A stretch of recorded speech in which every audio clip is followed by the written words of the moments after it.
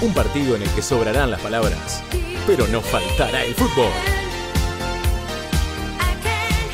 Defensores de Belgrano Tristán Suárez. Viernes, 21 horas. La primera vez con todas las letras. En Telcel.